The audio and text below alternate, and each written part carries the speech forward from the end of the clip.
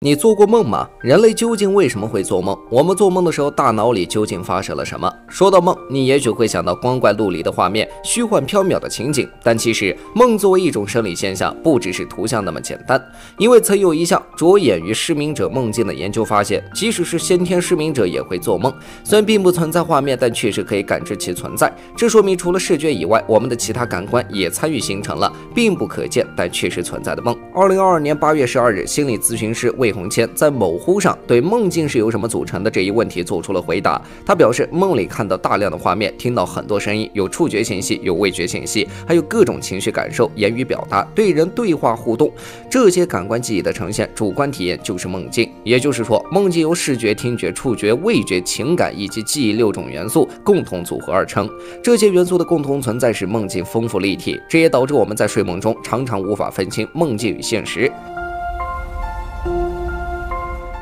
既然我们的梦境是由视觉、听觉、触觉、味觉、情感以及记忆六种元素共同组成，那么这些元素究竟是怎么配合产生梦境的呢？随着科学知识的普及，我们知道人类中枢神经系统最高级部分是大脑皮层，掌管着机体一切活动过程，而梦的产生也是如此。所以要了解梦的产生，我们先要了解大脑皮层。我们在口语中说的大脑，其实是在说人脑，即头颅空腔的全部内容物，而实际上大脑只是其中一个组成部分，位于人脑中前部，大约占据总质量。的百分之八十五，大脑皮层则位于大脑表面，仅占据大脑的百分之四十。但就是这样一个看似不起眼的部位，却正是梦境的生产基地。我们大脑皮层大体分为四个区，如图，分别为枕叶、颞叶、顶叶、额叶。假如把大脑皮层看作一个公司，各区域就相当于不同的部门，各司其职，相辅相成，才共同保证了公司的运作。而这些区域中分布着庞大的神经细胞群，这就是大脑皮层强大的原因。神经细胞能够感受刺激，并分泌出一种叫做神经递质的物质。用来传导兴奋，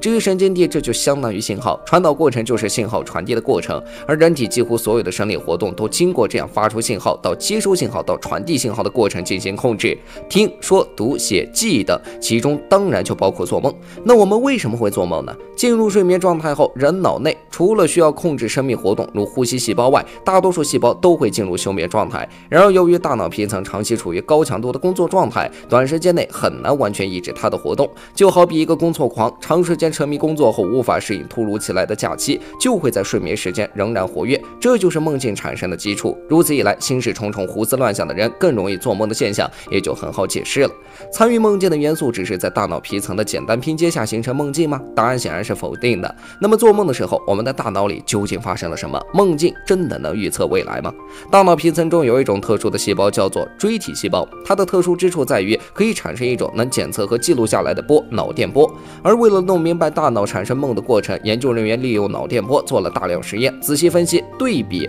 脑电图后，却有了惊人的发现。人们在清醒时，脑电波呈现的是阿尔法波和贝塔波，这两种波的频率更大，速度更快，所携带的信息更多，意味着大脑较为活跃；而在睡眠状态下呈现的就是更慢的德塔波和西塔波，它们携带的信息就远少于阿尔法波和贝塔波，意味着大脑活动迟缓。然而在睡眠状态下的某个时期，脑电波的模式会突然改变，更趋近于。清醒时的脑电波相似，这意味着什么呢？其实人们的睡眠并不是随机而毫无规律的，同其他生命活动一样，睡眠也遵循着一定的规律缜密运作，这就是所谓的睡眠周期。而在每个周期内都会有一个时间段，此时人们的心率升高、呼吸加快、眼球快速转动，因此被称为快速眼动睡眠阶段。又因其不同寻常、接近清醒，又被叫做意向睡眠或积极睡眠。而多项研究表明，梦境就在此时产生。但令人惊奇的是，这一阶段与脑电波变化的时间完全吻合，最终经过。反复试验，科研人员得出结论：脑电波的变化与快速眼动睡眠时期确实同一时期，梦境也确实再次产生。不过，学术界对于梦的解释，目前为止仍旧没有定论。一九七七年，哈佛大学的哈伯森与麦克凯瑞曾提出了活化合成理论，而这一理论广泛被人们接受。主要内容为脑干中有一个叫做桥脑的部位，在快速眼动睡眠期间会被激活，不断发出讯号刺激活脑化的意识部分，就像指挥部，命令记忆、情绪、感官等部分开始运作，使它合成一段有。有意义的梦，但是控制思考能力与逻辑思维的部分按兵不动，使得梦境通常不合逻辑，并且控制运动的神经元也处于休眠状态，使我们的身体不会随着梦境的变化而变化。当然也有例外，某些人某些时候人体运动神经元并未完全休眠，于是就出现了梦游的现象。对此，东汉思想家王甫曾说：“夫起义之梦，多有收而少无为者矣。”就是说，做梦或多或少总有原因可循。虽然我们仍旧不能说明梦的背后究竟是什么，但回过头来看那个关于先天失明者的梦境研究，我们应当承认，梦的来源确是人们的所见所闻。关于梦境能够预测未来是平行宇宙的体现和说法，仍旧欠缺事实依据。而研究人员对梦境的探索仍在继续，我们也期待着新的发现、新的突破。